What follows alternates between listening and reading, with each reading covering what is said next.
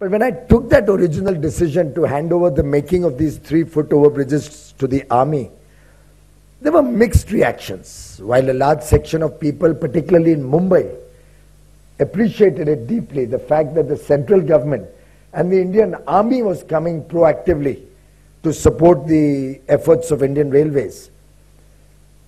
And I was not deterred by the criticism that why did we have to get the army? Because army comes in the picture whenever there is a crisis in the country, either at the border or even within the boundaries of India.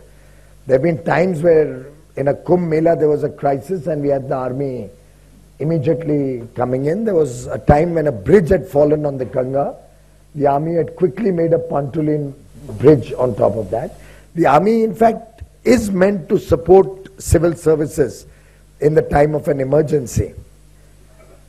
And before we to give this job to the army, they'd done a recce, and the chief of the armed forces at a dinner at the foreign secretary's home actually walked up to me and thanked me for giving the Indian army an opportunity to serve the people of India.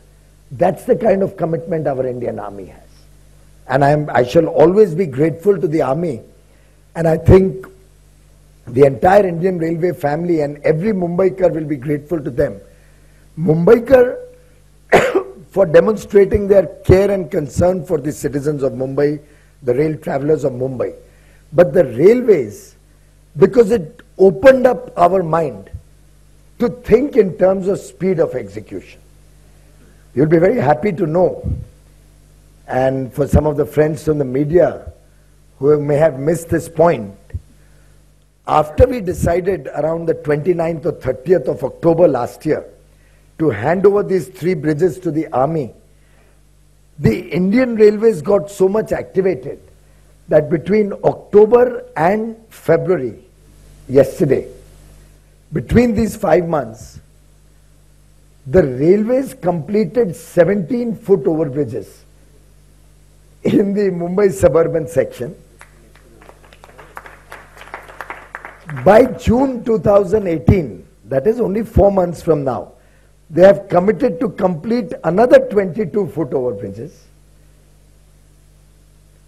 And we have just approved 56 more foot overbridges.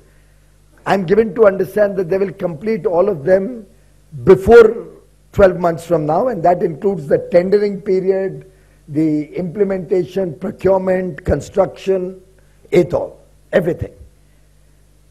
And we compare that to a time when prior to the Elphinstone Road unfortunate tragedy and the stampede there, it had taken 18 months from February 2016 to 29 September 2017 for after the sanction of a foot overbridge up to the stage of only uploading the tender on the website.